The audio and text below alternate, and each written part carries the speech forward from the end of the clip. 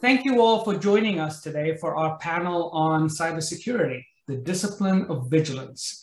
It's the second panel of our speaker series, bringing together executives, entrepreneurs, and investors, many from right here in Philadelphia, to discuss market. Welcome, and thank you all for joining us today for our panel on cybersecurity, the discipline of vigilance. It's the second panel of our speaker series, bringing together executives, entrepreneurs, and investors, many from right here in Philadelphia, to discuss market disruption, firsthand experiences leading businesses, and opportunities for investable growth. The series is brought to you by TIE Philadelphia, and with me is Doc Pargi, president of TIE Philly and partner at venture capital firm Sri Capital, to say a few words. Doc? Thank you, Himesh. Hello, everyone, and welcome. My name is Doc Pargi. I'm the president of TIE Philadelphia. I'd like, I'd like to welcome you to our second speaker series. Um, for those who don't know, uh, is a global organization uh, that supports entrepreneurship. With over 15,000 members spread across 61 chapters in 14 countries, uh, has been supporting entrepreneurs by offering education, mentorship, networking, and funding opportunities. Uh, TIE's charter members, which number over 3,000 globally, are the backbone of every chapter. Uh, charter members, what we call CMs, are successful high profile entrepreneurs, investors, and corporate executives who have reached a stage in their professional life when they are ready, willing, and able to contribute to fellow members and the entrepreneurial community. In our short existence, the Philadelphia chapter uh, has over 40 charter members, uh, consisting of basically a who's who of successful members of the local entrepreneurial ecosystem. They drive our, they drive our uh, successful programming that many of you have likely attended. Programs such as Top Pitch in partnership with PACT and Comcast, TIE Young Entrepreneurs, and the Icon event, which honors highly successful entrepreneurs uh, with recent exits, are but a few examples. So thank you again for coming. And today we welcome you to uh, our speaker series, Cybersecurity, uh, the Disciplines of Vigilance. So I'm going to turn it back over to Himesh Bhise, the CEO of Synacor. Thank you, Himesh. Thank you, Doc.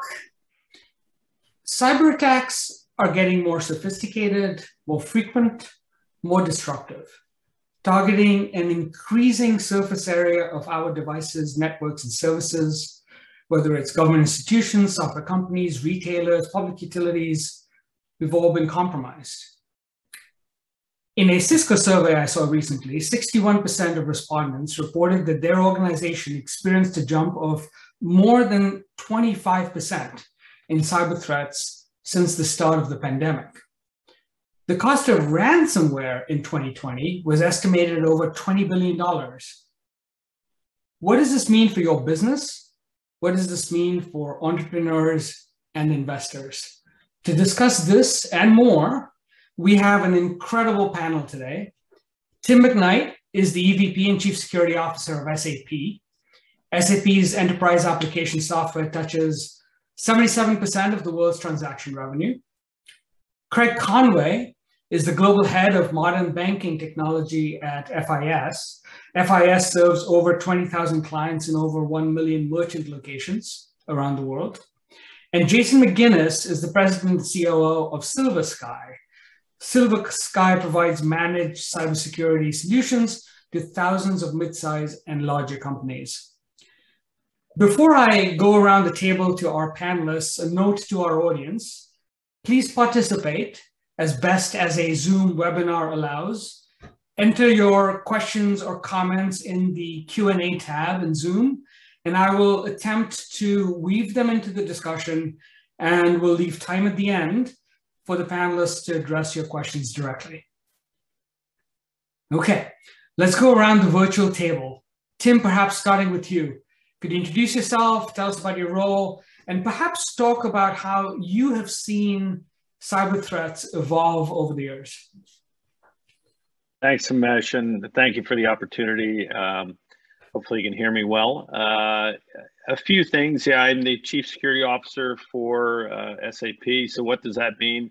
Uh, I actually have it all uh, underneath me, both from physical security, executive protection, personnel security, travel security, but also cyber security, and also how we build uh, security into the, the features uh, features of our products. So, uh, you know, uh, every day is a unique and different day, which is exciting for me. Um, I work for the CEO, uh, Christian Klein. That's how important security is to us uh, here at SAP, and clearly we're hearing that loud and clear from our customers. I think last year I had 180 customer calls personally. Um, and uh, security is almost always in a in the top one to three position uh, of priority for for our customers. Um, yeah, as you heard, we're a business software company, um, uh, so we are very focused on making sure we protect our our uh, our customers' data uh, as well as our shareholders uh, and our employees. So, in terms of what I've seen, so yeah, I guess I yeah, geez, I think uh, going into 30 years of uh, FBI for about 10, 20 years in industry, holy cow, it goes fast. Um, I can certainly say in the last 20 years as a CISO or a CSO in industry, um, it's really, it's a boardroom issue and challenge.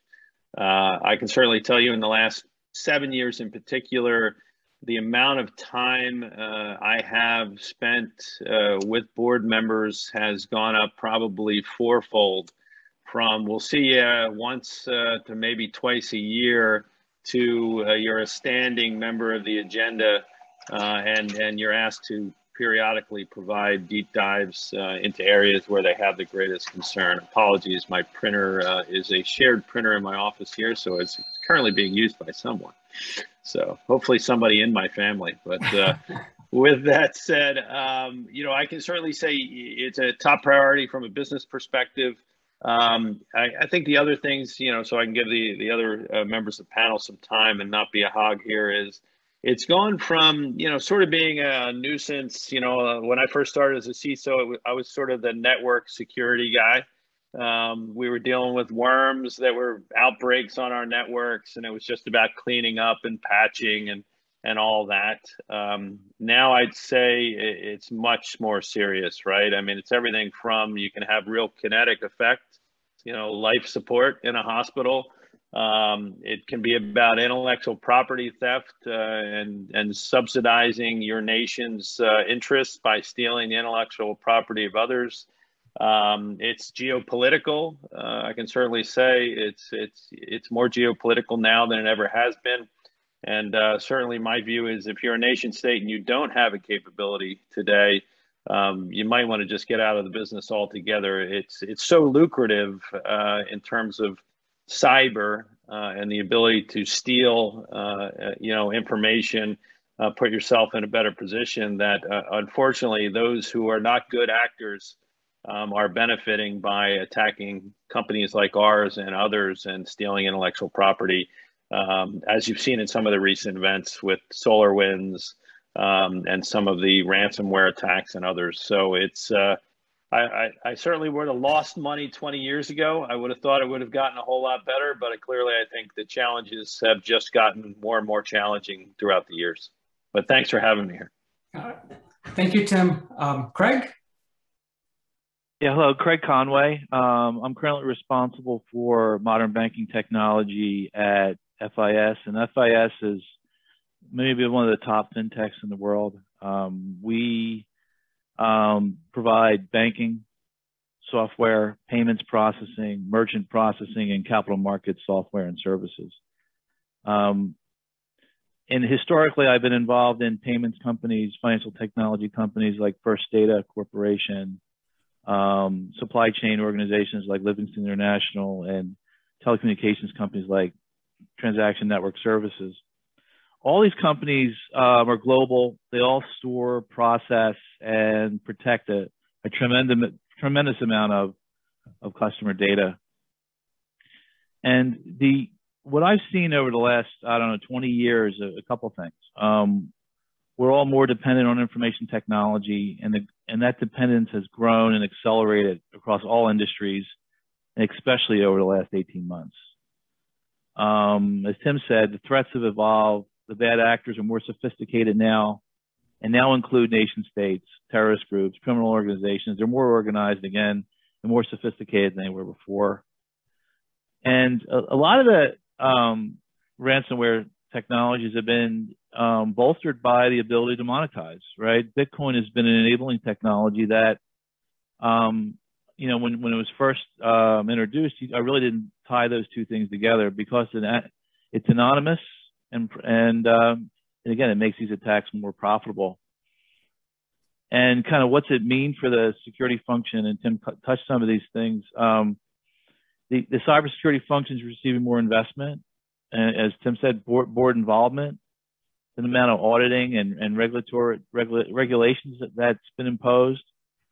Um, and they, they, they need to ingrain security as part of the culture and be secure by design and kind of drive continuous innovation and vigilance into the function to stay to try to stay current and, and try to try to protect because they're always kind of one step ahead. So that's kind of what I've seen as uh, what's what's changed. Thank you, Craig and Jason. Hey, good afternoon, everybody. So my name is Jason McGinnis, and as Himesh shared, uh, I am the president and CEO of Silver Sky. Uh, Silver Sky is uh, a managed service provider primarily focused on helping secure small and mid-sized organizations and really help them with their security uh, risk mitigation, both from uh, monitoring, security implementation, and also some, some compliance management. Uh, I have been in the role, or I've been in security field for probably 20. We'll give it, we'll call it 20 years, uh, and a lot of the same things that Tim and Craig have, have mentioned uh, clearly have seen things get a lot more sophisticated. You know, I think back when we were first trying to provide basics or uh, security protection to small banks, small financial institutions, we were really looking at things like making sure they had a firewall and making sure we had good antivirus in place. So really kind of two, two areas that we would focus on. And, and even though we talked about defense in depth, it was pretty simple. You flash forward 20 years, clearly the, the attacks are much more sophisticated. Uh, the kind of the surface area of attacks, you know, almost looks like a block of Swiss cheese, right? You have attacks coming from outside, you have attacks coming from inside.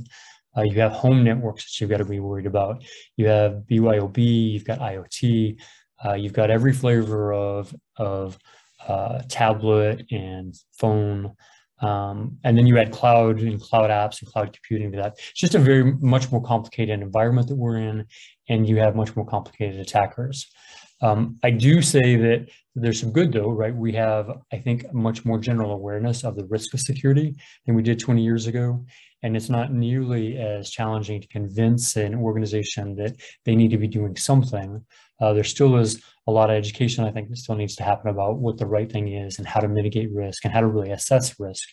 But it's not so much a conversation about trying to convince someone that there is a risk. It really is much more about finding the, the right way to protect them and the right way to try to mitigate those risks. So again, thanks so much and team for letting us uh, letting me participate. Glad to be here.